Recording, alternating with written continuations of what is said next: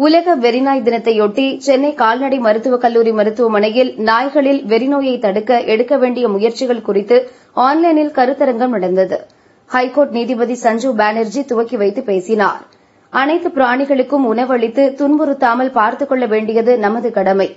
விலங்குகளிலேயே நாய் மிகவும் நன்றியுடையது. மனிதர்களிடம் அன்பு காட்டக்கூடியது. எங்கள் வீட்டில் குழந்தை போல் வளர்ந்த செல்ல பிராணி பதிமூன்று வயதில் இறந்தது. பிரிவை தாங்கிக் கொள்ள முடியவில்லை என நீதிபதி பேசியபோது கண் கலங்கினார். அதன்பின் நாய்கள் கிடைத்தும் நான் வீட்டில் வளர்க்கவில்லை. தெருநாய்களை பராமரித்து வருகிறேன். நாய் கடித்தால் சுண்ணாம்பு வைத்தால் போதும் என நினைக்கக்கூடாது உடனே ஹாஸ்பிட்டல் போக வேண்டும் என தமிழ்நாடு மருத்துவ அறிவியல் பல்கலை துணைவேந்தர் செல்வகுமார் தெரிவித்தார். இலவச வெறிநோய் தடுப்பூசி முகாமை டாக்டர் ராணி கவுர் பானர்ஜி துவக்கி வைத்தார். இருநூற்றி ஐம்பது நாய் பூனைகளுக்கு இலவசமாக தடுப்பூசி செலுத்தப்பட்டது.